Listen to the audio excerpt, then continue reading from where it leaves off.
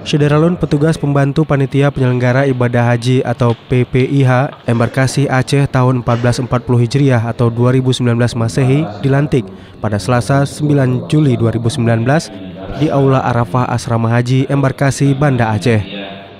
Pelantikan ini dilakukan oleh Kepala Kantor Wilayah Kementerian Agama Kanwil Kemenak Aceh, Dr. Andes HM Daud Pakeh, yang juga bertindak sebagai Ketua Panitia Penyelenggara Ibadah Haji Embarkasi Aceh tahun ini.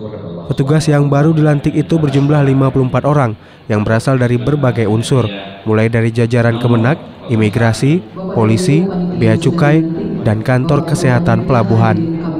Mereka akan mulai bekerja melayani jamaah sejak masuk ke asrama hingga para jemaah berangkat dengan pesawat dan kepulangan jamaah dari tanah suci.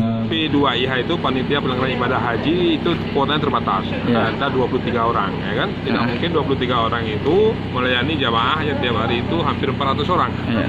Nah, dibantulah pembantu panitia. Jadi tugas mereka itu membantu panitia sepenuhnya.